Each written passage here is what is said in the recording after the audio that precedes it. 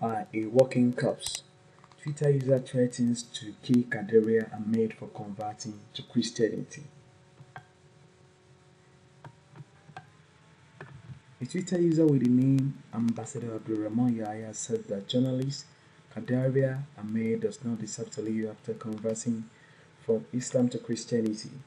Yahya, who tweets at Cardinal Abdul, made the comment on Thursday morning as part of a series of expletives he has directed at the journalist the weekend when she described Abdul Aziz Yari, governor of Zamfara State, as the most useless governor in the history of Nigeria. Looking at this, I think every Nigerian has the right to practice his or her own religion in irrespective maybe it's traditional Islamic or Christianity and I don't think anyone has the right to threaten anyone here.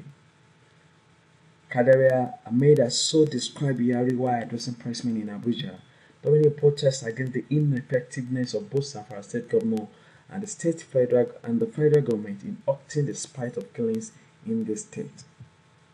Since then, Yahya has dedicated his Twitter account to all in Abusa the journalist. In one tweet, he wrote, Kadaria, you called our beloved governor useless. You are the most idiot, selective, undesirable journalist in the history of Nigeria. Wow. Impressive. Undesirable journalist in the history of Nigeria. This one baffles me because if this woman is undesirable journalist in the history of Nigeria, I don't know the reason why she will be called to anchor the candidate in which presidential candidate were interviewed, including the present president Muhammadu Buhari. So I don't think that comment is correct, but that is his own personal opinions. I don't care what he said. In another, in another tweet he wrote, Kadaria Ahmed, you are corrupt journalist in the history. There was no anger from you when over 1,000 Nigerians, including women and children, were killed in Zaria in 2015.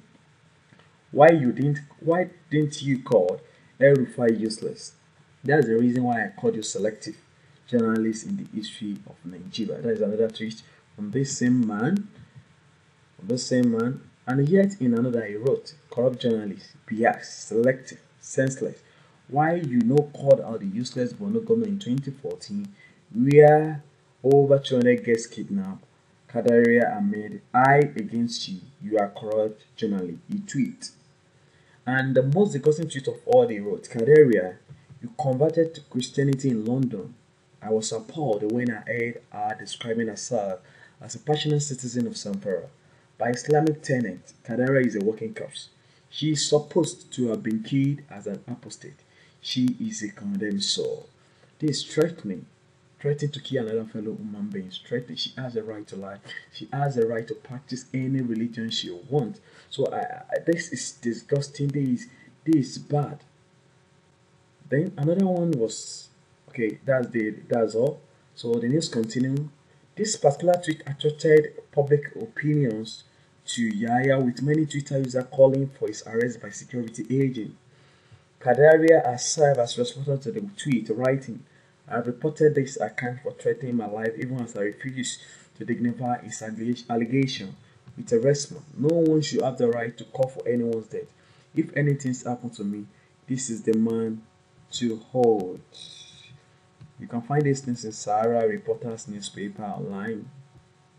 It's disgusting. Imagine what a key person for converting to another religion.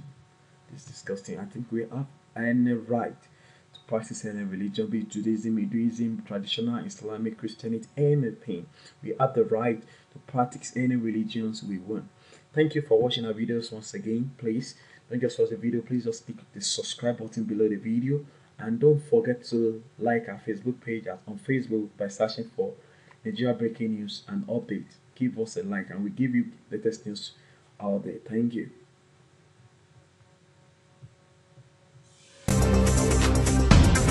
NBNU TV, updating you with the news as it breaks.